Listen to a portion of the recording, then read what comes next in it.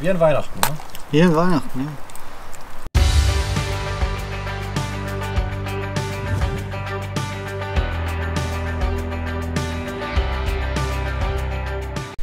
Hey ihr Abenteurer, ich bin heute wieder mit dem Autobuddy unterwegs und zwar sind wir hier in einem Survival Camp von Wildwald frei. Den Account von Instagram verlinke ich euch mal unten in der Infobox und wir werden heute Abend was leckeres essen, was seht ihr später. Und das hier ist ein ganzes Survival Camp, wo man auch äh, Survival Kurse buchen kann und ich würde einfach mal sagen, ich führe euch einfach mal rund, wie es hier aussieht. Etwas abwärts hier von der äh, Sitzgelegenheit und der Kochstelle befinden, äh, befinden sich hier drei Hütten. Eine befindet sich hier und zwei da vorne.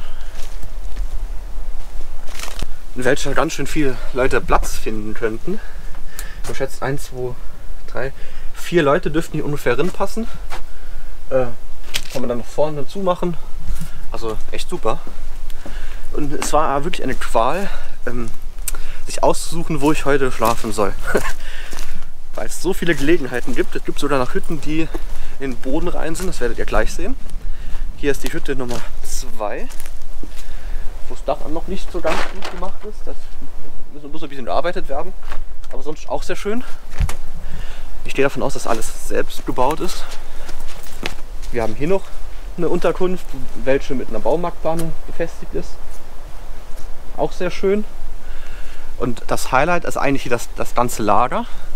Zwar hatten wir hier zwei große Feuerstellen mit einem Haufen Sitzgelegenheiten. Hier der Autobody ist schon fleißig am Arbeiten, während ich hier Servus. für Unfug treibe. Er muss ja schaffen. so ist es. Also hier das ganze Camp oben noch abgesichert mit einem, mit einem Fallschirm, der wahrscheinlich auch ein bisschen Regen weghält, obwohl er ein paar Löcher hat, was aber nicht schlimm ist. Hier befindet sich eine Kochecke. Beziehungsweise wo man allerhand Arbeiten tätigen kann. Wir haben auch gut stehen mit dem Bierchen. Sind auch schön.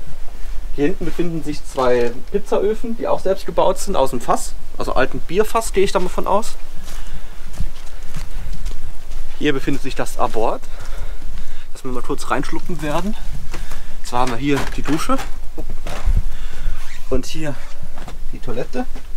Ich hoffe, man sieht's. Da wird sich der, der Vincent vom Instagram-Kanal On Tour with Jeffrey freuen, weil eine Toilette ist manchmal wirklich Gold wert. Und jetzt kommen wir zum Highlight Nummer 2 neben der Sitzecke. Und zwar sind das Laubhütten. Da wurde ähm, Konstruktion aus Holz gebaut. Diese wurde unten mit äh, bisschen Laub und bisschen Gras ähm, abgefedert und dann von außen zugedeckt. Ich habe auch überlebt, ob ich, äh, überlegt, ob ich da eine Nacht verbringen sollte, aber ah, nee. ich bleibe lieber vorne. Ein andermal vielleicht. Zwar so sehen die aus. Also die ist noch relativ hoch am Anfang. Ich habe eben eine gesehen, die sehr schön ist, aber die ist nicht so hoch. Die ist hier. Das sind übrigens auch äh, Survival-Kurse, die man hier buchen kann, wo man dann ähm, solch eine Hütte baut und da auch drin schläft. Hier, so. So sehen die ungefähr aus. Also ich habe mich jetzt mal reingelegt, der Boden ist zwar ein bisschen feucht. Also ohne Isomatte oder Elefantenhaut würde ich hier jetzt nicht schlafen. Äh, beziehungsweise im Notfall geht halt alles. Ne? Aber hier Komfort, ein bisschen weniger. Aber ich finde sowas cool. Kai, sowas müssen wir auch mal machen. Und hier ist wieder das Herzstück dieses Lagers. Und zwar, ich habe mich dazu entschlossen, die Nacht heute hier zu verbringen. Ich werde wahrscheinlich ein bisschen windanfällig hier sein, aber alles gar kein Thema. Ich habe einen guten Schlafsack. Äh, ja, ich würde sagen, jetzt machen wir erst Feuerholz sammeln, dass wir das Feuer anbekommen. Und dann Lager ist ja schnell gebaut, muss ja nichts abspannen oder so. Von daher Feuerholz sammeln.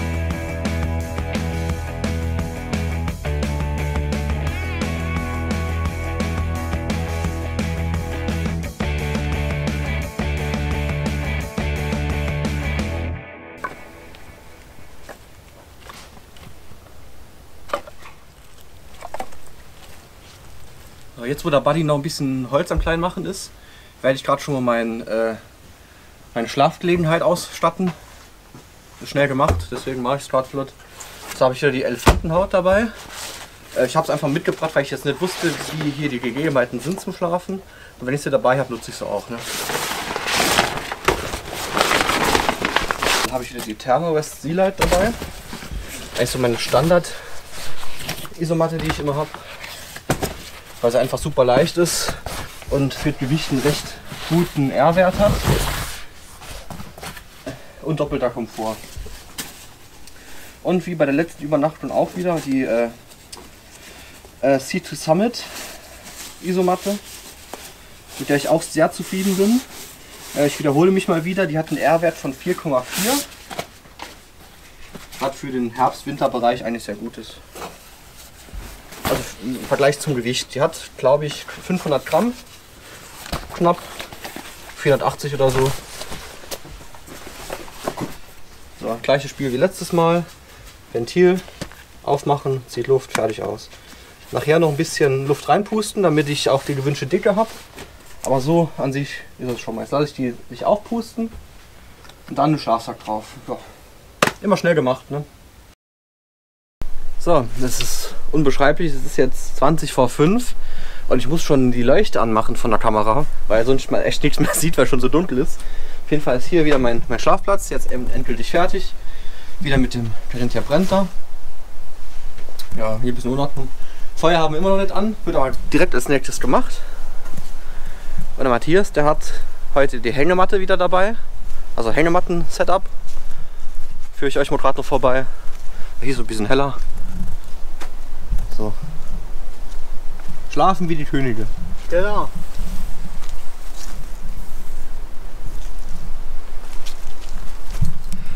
So, dann machen wir uns mal los ans Feuer.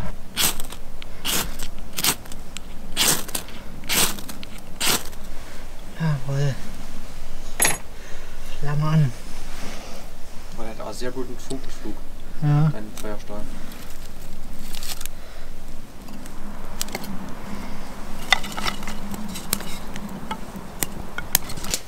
So, hat mal Zeit, oder? Ja, heute gibt es ein Budweiser Budvar Or- Original Czech Lager. In Tschechien können, die können Bier War brauen. eigentlich das, das Budweiser zuerst oder das Budweiser in Amerika? Vermute ich das, ne? Ich gehe auch davon aus, dass das war. Ne? Die, die Tschechei ist ja älter als die äh, USA. Ne? Ja, gut. Äh, lustiger Fun Fact: Die Karlsbrücke in Prag, die ist älter als die Gründung der USA. Ne? Dazu äh, Kultur am Abend. Spiel geschüttelt. War im Auto.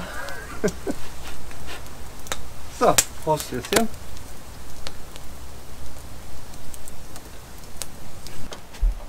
So, solange der Matthias noch sein Video hier fertig dreht, mache ich uns schon mal einen Glühwein warm. Zwei ganz klasse stehen hier. Ich hoffe, man sieht jetzt genug.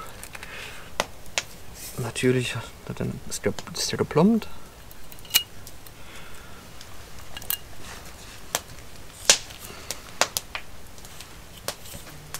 Eieiei. Also jetzt. Weiter geht's bei den Straßenleuchten ja, mit einem ja, mit einer anderen kleinen Themenstraßenleuchte. An der Stelle gehen Grüße raus an den Markus vom Kanal Tiger, das ist uns verlinkt. Äh, der hat mich auf diese Lampe aufmerksam gemacht. Die gibt es tatsächlich äh, bei Amazon leider nicht, sondern äh, AliExpress hatte sie gefunden und auch auf Amazon. Die Links packe ich euch mal ein ist eine ja, kleine Lampe, die so ein bisschen gülden, so ein bisschen orientalischen Anschein. Äh, funktioniert mit dem Teelicht, ist ganz einfach aufgebaut. Ähm, ich kann quasi den Deckel hier, So, und ab ins Feuer. macht aber auch ein wunderbares Licht und ist tatsächlich zu den UFO-Laternen eine ganz geile, günstige. So, Prost, bisschen.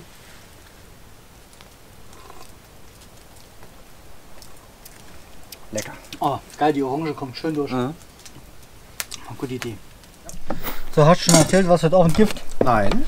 Also, am Abend gibt es Rindergulasch von der Landmetzgerei Kratz. Kann ich nur empfehlen. Die liefern auch. Ah, Echt leckeres Zeug, was sie haben. Ist so aus der Dose, aber von der Metzgerei hergestellt. Und das ordentlich Fleisch drin. Sieht super aus. Oh, guck mal, riech mal. Ah je, geil. Sehr schön. So, das stellen wir jetzt mal aufs Feuerchen, oder beziehungsweise Lebensfeuer, dass das schon mal so langsam warm wird.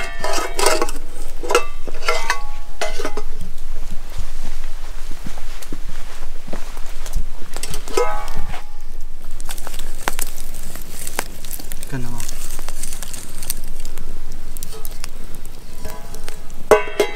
Dazu reichen wir einen Genießerrotkohl. Hm. Und wir machen schöne Spätzle Ja, wie es sich gehört, ne? mit Zwiebeln noch ein bisschen angebraten in schöne Butter. Perfekt. Ja, ich weiß, Messer auf Stahl gehört sich nicht, aber ich habe leider kein Brettchen dabei. Ich glaube, viele Eisern ist das doch relativ egal, oder? Ja, aber meine Messer ist das nicht egal. So.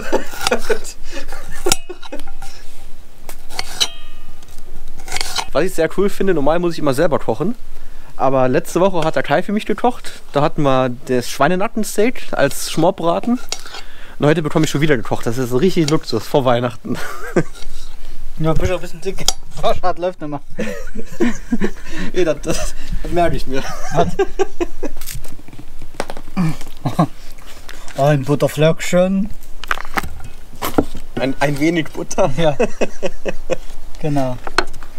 Und das kochen wir jetzt hier mal gleich, das braten wir mal schön an. Anschließend kommen dann die Spätzle darin. Werden sie ein bisschen mitgeschwenkt. Ähm, ah, pass mal auf, dein, in deinem Topf ist der Glühwein drin, ne? Ja. Dann machen wir in meinem Topf jetzt das Rot raus. Das stellen wir auch schon mal nebendran zum. Muss ja eigentlich auch noch warm werden. Das muss auch nur warm werden, genau.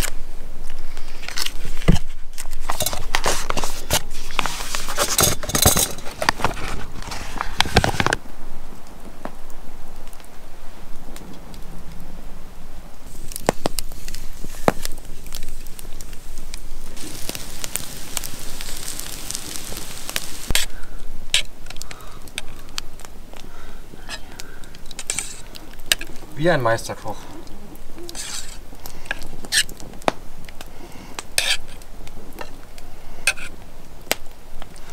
So soll die Spätzle auch. Ne, brauch ich nicht. Also nur so das Fleisch noch ein bisschen. Kann ich ja tunken. Genau. Wie an Weihnachten, ne? Hier in Weihnachten, ja. Jawohl, danke dir. Bin ich mal gespannt, wie der Meisterkoch hier gekocht hat.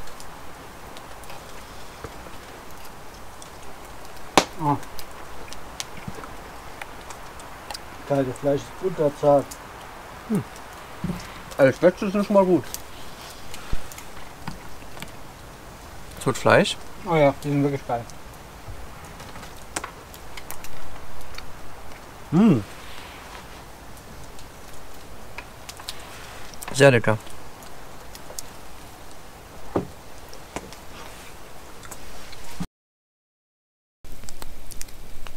So, wir haben jetzt Viertel nach ein. Der Matthias ist schon im Bett. Ich werde jetzt noch mein Mundhygieneprogramm starten und mich dann auch auf den Weg ins Bett machen. Es wird Zeit. Ich habe jetzt wieder am Feuer gesessen, bisschen gechillt. Ja, jetzt werde ich auch müde und deswegen Zähne putzen und ab dafür. So, die meisten werden es kennen. Gleiches Spiel wie immer. Bambuszahnbürste. Hier die Tabletten. Also wenn du draußen bist, am Trekking oder in der Natur ist das eigentlich das einfachste, was geht. Also eine Zahnpastatube, die wiegt ja auch ein bisschen. Und die wiegt quasi gar nichts. Die kann jetzt auslaufen. Weil der trocken ist. Muss halt nur wasserdicht irgendwie verschlossen sein. Ne?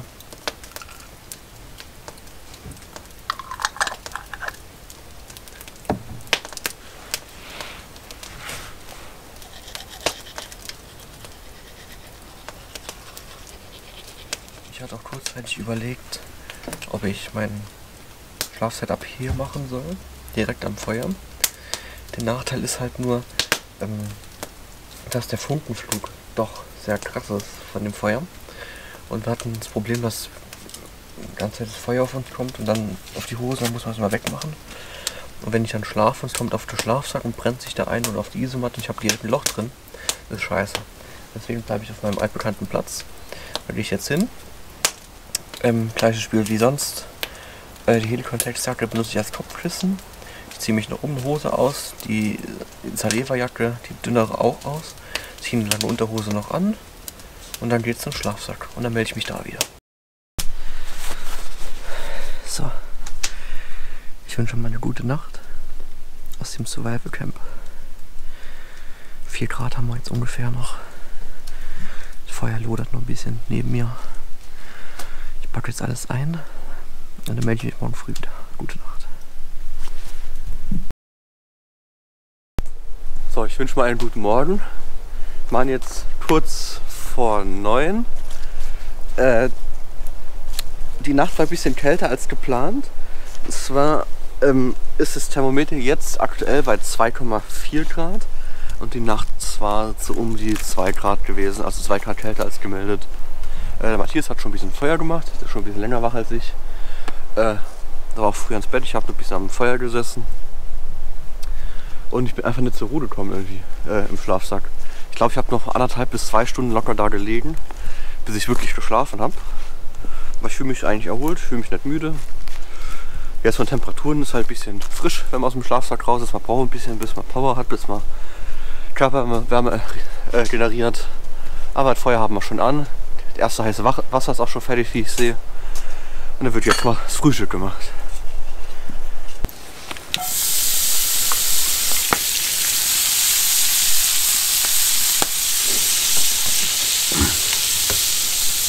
Willst ja nicht auch.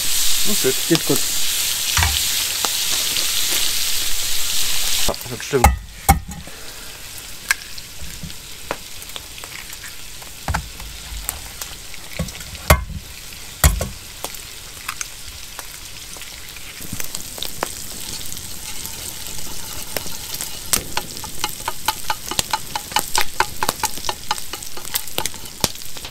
Und dann wird jetzt in der Pfanne, wo, wo schöner Specksaft drin ist, das Ei drin gemacht.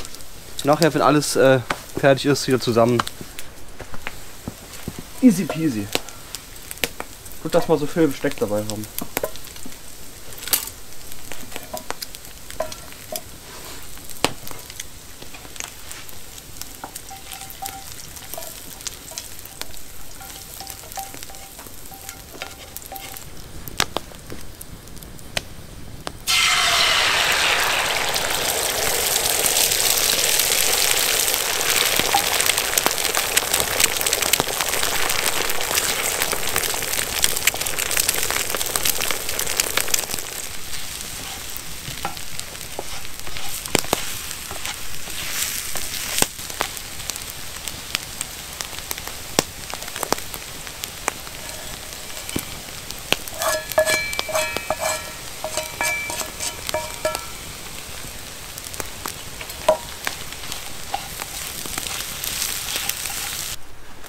Heute gibt es wieder einen Tee. Äh, Lust auf Kaffee habe ich heute schon wieder nicht. Bin jetzt mittlerweile wieder auf dem Tee festgehangen. heute gibt es wieder einen äh, Kräutertee. Fragt mich nicht welcher, weiß ich nicht. Äh, wird aber bestimmt schmecken. Und Rührei ist jetzt auch fertig, ist jetzt gewürzt. So sieht es hier aus. Mit den Speckwürfeln bin ich gespannt. Die habe ich bis jetzt noch nie probiert, aber wird schon. Speck macht bei einem Mal nie was verkehrt. Und der Buddy kam auf eine geile Idee. Der hat nämlich die, die Käsestangen noch einmal in der Pfanne gemacht. Deswegen sind die jetzt schön groß. Mal wie sagen. Käsestange ist geil, hat auch schön rauchige vom Feuer. Das ist schon geil.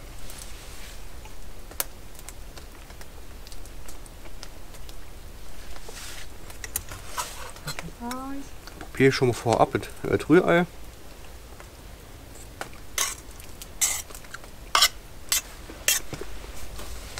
Ja, super. Das will man aber bei Rührei und Specker falsch machen, ne? Hm. So, gegessen ist, aufgeräumt haben wir jetzt. Der Matze ist noch gerade dabei, den Rucksack zu packen. Ist auch hier im Moment fertig. Und dann waren wir uns auf dem, auf dem Rückweg. Ja, das ist jetzt gegen 11 Uhr müsste es jetzt sein. Ne? Ja, Rucksack gepackt, Feuer ist aus. Ja, das war's eigentlich für heute. Ne? Also hat mir sehr Spaß gemacht mit dir. Ja. Auch weil die Nacht ein bisschen, bisschen frisch war noch, aber ging. Ne? Bei dir auch, oder? Ja, ich hatte schon, schon warm im Schlafsack. Ah, gut. Ähm, falls ihr den Outdoor-Buddy noch nicht kennt, ich packe ihn euch unten mal in die Infobox, den äh, Link zum Kanal. Infobox, nein. Nein, dann, dann kommt er nicht in die Infobox. Und dann, wenn es euch gefallen hat, erzählt es euren Freunden, wenn nicht euren Feinden. Und dann bis zum nächsten Mal. Ciao.